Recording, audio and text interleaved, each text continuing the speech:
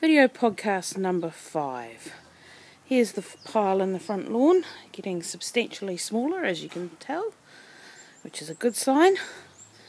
Coming through to the house, and um, I'm keep this shorter this week so it's not so bad a video. But we've got more jib in the hall, the bath's arrived, the doors are all happening, heat's not cracking the hall.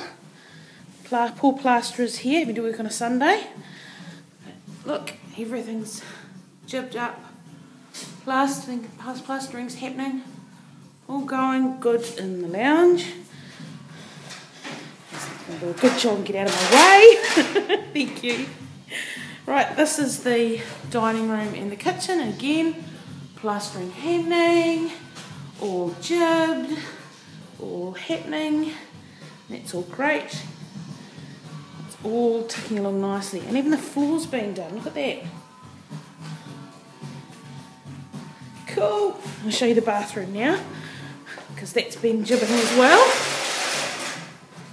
And we've got um, some movement in the loo as well, which is good in terms of we're getting the walls all done. Um, more of a mess, but you'll see here, jibbing's starting to happening, the electrics are in, the battening's up, and best of all, the gas is out.